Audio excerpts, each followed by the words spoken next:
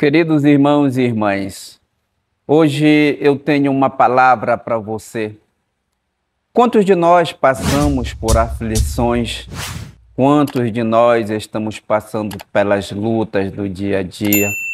E muitas das vezes, meus queridos e queridas, nós pensamos que estamos sozinhos.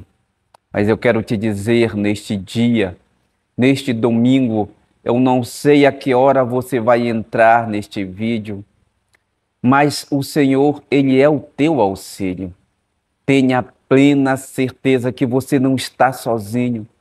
Quando você estiver passando pelas aflições do dia a dia, pelas aflições da vida, creia que o Senhor, Ele é o teu auxílio, Ele é o teu refúgio, Ele é a tua fortaleza, o Senhor, Ele está contigo. Você não está sozinho.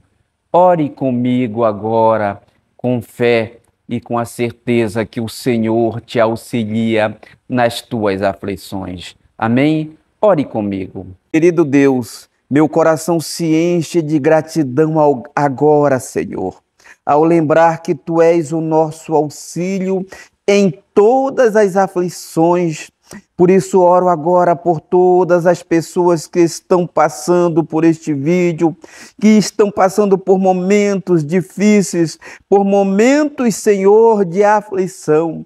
Ó oh, Senhor, que estão enfrentando desafios e lutando contra as adversidades da vida, Senhor. Que elas sintam a tua presença e o teu amor em cada momento que encontre força nas tuas palavras e esperança na tua promessa, que estarás sempre ao nosso lado.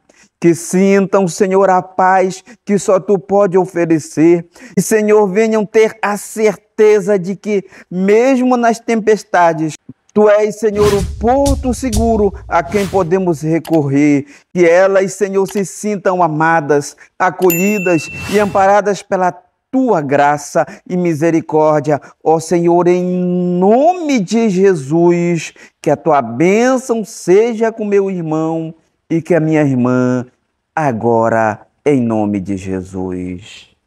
Meu querido e minha querida, o Senhor é o teu auxílio.